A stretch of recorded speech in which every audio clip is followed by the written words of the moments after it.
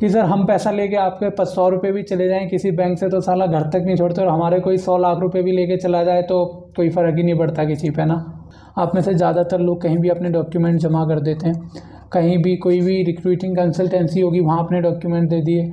किसी ने ऑनलाइन आपसे डॉक्यूमेंट मांग लिए जो आपके लिए आपने दे दिए। बाद में उन डॉक्यूमेंट का यूज़ होता है ऐसी फ्रॉड नंबर लेने में कि पुलिस पकड़े तो पकड़े किसको?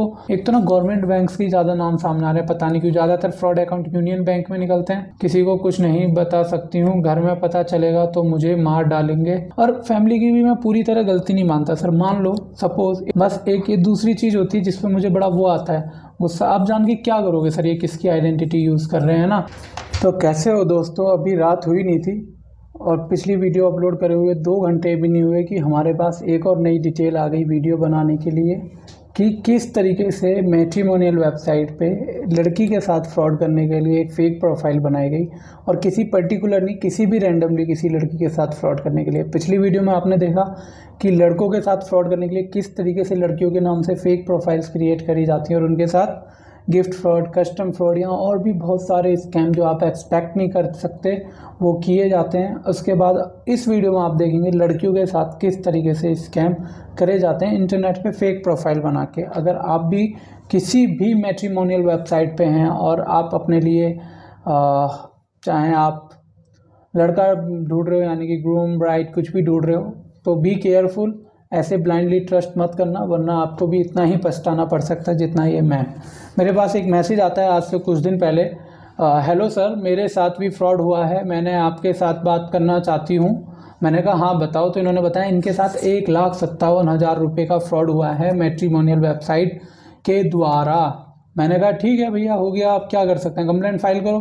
तो इन्होंने बताया कि मैंने कंप्लेंट फ़ाइल तो कर दी है तो मैंने कहा, आप वेट करो भैया पुलिस का टाइम तो लगेगा। देखो, ये फ्रॉड इतनी बड़ी तादाद में हो रहे हैं कि पुलिस को वीआईपी सिक्योरिटीज़ हैंडल करनी है अलग अलग जगह दंगे हैंडल करने हैं, उसके बाद चोरी हैंडल करनी है, लोगों के घरों के झगड़े हैंडल करने हैं, उसके बाद बच्चे, कुछ लोगों को ट्रैफ़िक मैनेज करना है, जो बच्चे उनको रेस्ट भी करना है, फिर भी, और बहुत ऐसी चीज़ें कि मैं आगे कुछ नहीं कह सकता। उसके बाद फिर लास्ट में ट्रीट कुछ करा जाएगा तो आपकी ये कंप्लेंट करी जाएँगी। मुझे पर्सनली ऐसा लगता है, और किसी को हर्ट करने का इसमें कोई मेरा मतलब नहीं था। ठीक है पुलिस कंप्लेन किया है बट वो बोले कुछ नहीं हो सकता। पुलिस ने मना कर दी, कुछ नहीं होगा। बैंक में पता करा, बोले ऑलरेडी विड्रॉल हो गई है मनी एटीएम से। अब एक चीज़ सोचो आप यहाँ, अगर गवर्नमेंट ऑफिशियल कोई देख रहा है कि सर हम पैसा लेके आपके पास सौ रुपये भी चले जाएँ किसी बैंक से तो साला घर तक नहीं छोड़ते, और हमारे कोई सौ लाख रुपये भी लेके चला जाए तो कोई फ़र्क ही नहीं पड़ता किसी पे ना। ऐसा देश हो गया है हमारा। खैर उसके बाद नेक्स्ट इनका साइबर पोर्टल में कंप्लेंट कर दिया ऑनलाइन बहुत अच्छा करा आपने दे ऑल्सो डिडेंट रिस्पॉन्स बस ये बहुत बुरा हुआ, क्योंकि आजकल मैं देख रहा हूँ कि जो मेल कंप्लेंट मैं करता हूँ, मुझे उन पर भी रिस्पॉन्स नहीं आ रहे हैं। दिल्ली पुलिस ने मुझे तीन रिमाइंडर मेल डाले कि, भाई, हमें डिटेल दो रिमाइंडर मेल सॉरी एक में रिमाइंडर कि हमें डिटेल भेजो भेजो। मैंने जब उन्हें डिटेल भेज दी ना, उसके बाद मेरे पास कोई रिस्पांस नहीं आया। कोई भी सिंगल रिस्पांस या कॉल पुलिस प्रशासन की तरफ़ से नहीं आया और मैं तो पर्सनली हार मान के मैंने मेल करने बंद कर दिए, क्योंकि धमकियाँ तो आती हैं, पर रिस्पॉन्स किसी का नहीं आता। मैं उड़ीसा से बिलोंग कर रही हूँ बट वर्किंग प्लेस मेरा झारखंड है। क्या करूँ? समझ में नहीं आ रहा है मुझे कुछ भी। और उसके बाद ये वो एविडेंसेस हैं जिससे आपको यकीन हो जाए इनके साथ फ्रॉड हुआ। एक पेमेंट में सत्तावन हज़ार गए इनके साठ हज़ार गए और फिर चालीस हज़ार रुपये इन्होंने इस फ्रॉड में दे दिए। दो जून को, दूसरी पेमेंट दो जून को और तीसरी भी पेमेंट दो जून को इनसे निकलवा ली गई। अब ये टाइम क्यों नहीं देते स्कैमर कहीं आप इंटरनेट पे सर्च ना कर लो, आपको डिजिटल सुधीर की वीडियो ना मिल जाए, या आप अपने दोस्त से ना पूछ लो, वो आपको इन्फॉर्मेशन ना दे दे कि भैया ये तो स्कैम है फ्रॉड है, ऐसे कोई कस्टम ड्यूटी नहीं होती। उसके बाद फिर सर अट्ठाईस हज़ार सात सौ, अट्ठाईस हज़ार सात सौ अस्सी मांग रहा था, जो एनआरआई था, उनका डिटेल्स ये उसका नंबर है, जो कि एक डिस्पोजेबल नंबर है, और डॉक्टर विवेक पूनिया नाम से उनने अपनी ये प्रोफ़ाइल बना रखी वेरीफाइड मैच एक हज़ार चार सौ चौंसठ में से एक, ठीक है, जो इनको पसंद भी आ गया। यही वो प्रोफ़ाइल है विवेक पूनिया लास्ट सीन चार जून 2022 हाइट पाँच फुट नौ इंच, और उसके बाद पचास से सत्तर लाख इसकी सैलरी है। और ये मेरे को यकीन है, मैं एक वीडियो बनाने वाला हूँ विद ऑल एविडेंसेस कि आपकी सैलरी ना आपकी प्रोफ़ाइल बढ़ा देती है यार। मतलब आप किसी मैट्रीमोनियल साइट पर इसके हमारे पता है क्या करना होता है उनको? शकल उतना मैटर नहीं करती। जैसे ये अकाउंट बढ़ता है ना ब्लाइंडली लोग रिक्वेस्ट भेजने लगते हैं। मैं, मैंने पूरे एविडेंसेस के साथ आपको वीडियो शो करूँगा। आप देख लेना, आपको यकीन हो जाएगा। यही पिक दिया था और इसीलिए लोग फंस भी जाते हैं फिर स्कैम में ना। ज़्यादातर लोग इसीलिए फंसते हैं, चाहे लड़का हो या लड़की। यही पिक दिया था। जो सर्विस एजेंट था, उसका नंबर ये है। ये भी किसी की आईडी पे फेक लिया हुआ नंबर होगा। वो आईडी कैसे आई होगी? आप में से ज़्यादातर लोग कहीं भी अपने डॉक्यूमेंट जमा कर देते हैं। कहीं भी कोई भी रिक्रूटिंग कंसल्टेंसी होगी, वहाँ अपने डॉक्यूमेंट दे दिए। किसी ने ऑनलाइन आपसे डॉक्यूमेंट मांग लिए जो आपके लिए आपने दे दिए। बाद में उन डॉक्यूमेंट का यूज़ होता है ऐसी फ्रॉड नंबर लेने में कि पुलिस पकड़े तो पकड़े किसको? ज्ञानचंद को और स्कैम करने वाला कौन हुआ? नामचंद। समझ रहे हो? उसके बाद कैसे ये लोगों को आइडेंटिफाई करूँ? समझ में नहीं आ रहा है। कोई भी हेल्प करने को रेडी नहीं है। मैम, कोई भी हेल्प करने को रेडी होगा तब भी कोई कुछ नहीं कर सकता। इसमें मदद कोई कर सकता है तो उसका नाम है पुलिस। सिर्फ़ ये ही आपकी मदद कर सकती है और कोई कर सकता है तो वो कोई हैकर होगा और मैं तो इतना बड़ा हैकर हूँ नहीं या कोई भी जो मेरे नॉन में हो। तो आपको पुलिस और पुलिस ना करे तो उसके बाद दूसरा ऑप्शन आप पे बचता है कोर्ट।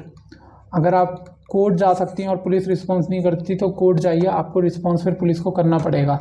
उसके बाद जो अकाउंट दिया था पेमेंट के लिए, ये है बैंक ऑफ़ इंडिया नाम से। एक तो ना गवर्नमेंट बैंक्स की ज़्यादा नाम सामने आ रहे हैं, पता नहीं क्यों, ज़्यादातर फ्रॉड अकाउंट यूनियन बैंक में निकलते हैं। और मेरे को यूनियन बैंक की ना चेक बुक लेनी है, उसके लिए मुझे बैंक जाना पड़ेगा। एटीएम कार्ड लिया, उसके पिन कोड के लिए मेरे को रीसेट करने के लिए वहाँ करोल बाग जाना पड़ेगा। समझ रहे हो? लेकिन इन्हीं बैंक में जो इतना ज़्यादा वो कर रहे हैं, सबसे ज़्यादा फ्रॉड अकाउंट निकल रहे हैं। ब्रांच दिल्ली पता नहीं है आप इससे चेक करना एफ़ एस कोड से आपको पता चला पैन नंबर जो है आप देख रहे हो फेक है, इसके चक्कर में मत पड़ना।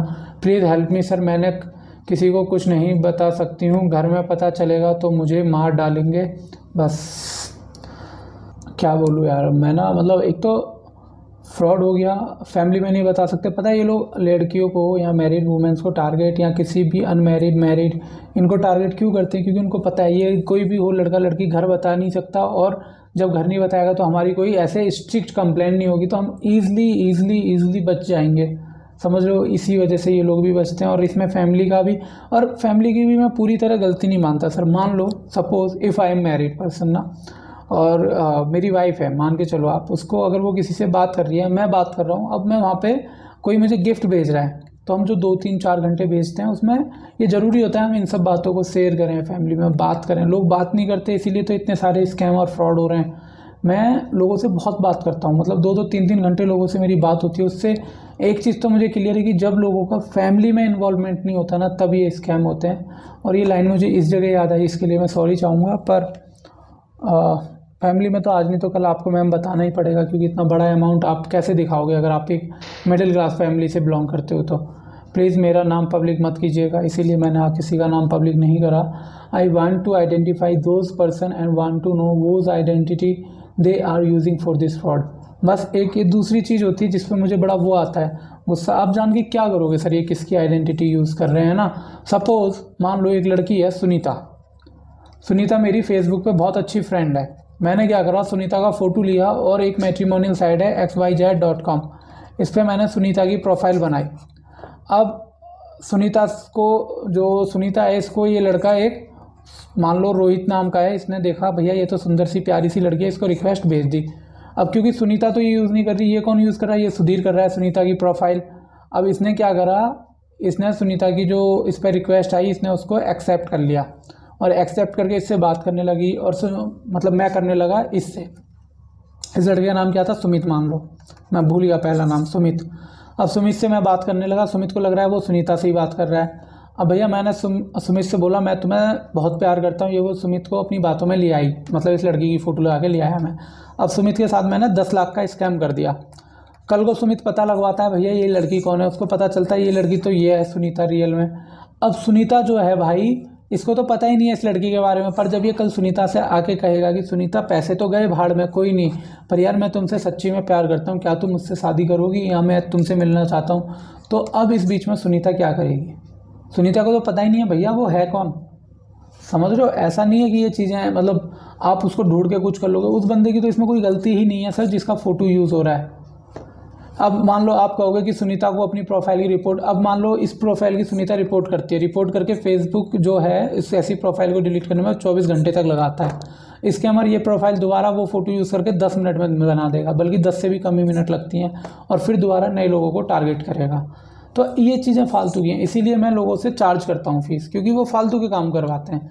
जैसे मुझे डाउट हुआ, हमने रेस्ट मनी देने के लिए मना किया हम क्लियरेंस का रिसिप्ट भेज दिए थे ठीक है कस्टम क्लियरेंस ये था। उसके बाद ओके मैंने बोला कि मैं कंप्लेंट फ़ाइल कर सकता हूँ, पाँच सौ रुपये मेरी फ़ीस है। और उसके बाद हाउ कैन आइडेंटिफाई दैम मैंने कहा कमिश्नर ऑफ़िस में कांटेक्ट कर लो, वो बता सकते हैं भाई।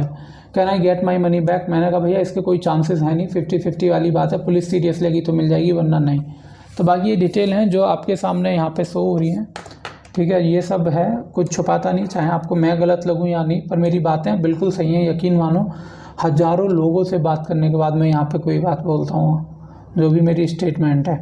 तो गाइज़ ये सारी डिटेल हो गई। इसके अलावा अगर आप लोग मेरी मदद करना चाह रहे हैं इन स्कैम्स के खिलाफ फाइट करने में, ऐसे लॉ के लिए जिन, जो स्ट्रिक्ट हो इन स्कैमर्स के खिलाफ मैं पटिशन फ़ाइल करने की सोच रहा हूँ। अगर आप चाहते हैं उसका हिस्सा बनना तो टेलीग्राम ग्रुप ज्वाइन कर लो। जिस दिन भी पटिशन फ़ाइल होगी, आपको वहाँ पे डिटेल मिल जाएगी साइन करने के लिए। हाँ एक चीज़ और मैम आप वीडियो देख रहे हो मैंने यहाँ पे लिखा था please drop your message I will answer you in the morning क्योंकि मैं रात में बात कर रहा था साढ़े ग्यारह बारह बज रहे थे एंड मैंने इनको बताया कि भैया मेरी तबीयत सही नहीं है। एक्चुअल में प्रॉब्लम ये थी कि आ, एक यूरिक एसिड नाम की प्रॉब्लम होती है ना जो पैरों में हो जाता है। कई बार जब आप बहुत टाइम तक बैठे रहते हैं फास्ट फ़ूड खा रहे होते हैं एक वो दूसरा स्टोन प्रॉब्लम है मेरे। आठ एम की और नौ एम की छः या सात पत्थरी हैं किडनी में तो उस दिन सडनली वो दर्द होने लगा। तो मैं बात नहीं कर सकता था। तो मैंने कहा तो शायद उन्होंने उस बात को पता नहीं, कैसे पर्सनली लिया, पर उसके बाद इनका कोई मैसेज नहीं आया। Anyways thanks for watching this video guys यहाँ से भी ये वीडियो देखने कमेंट करके बताना और कितने लोगों को आपने ये वीडियो शेयर करी कमेंट करके ज़रूर बताइएगा। जुड़े रहना डिजिटल सुधीर से। सब्सक्राइब ज़रूर कर लीजिएगा। बाय बाय टेक केयर सब सब करा, सारा खबर, सब करा, सारा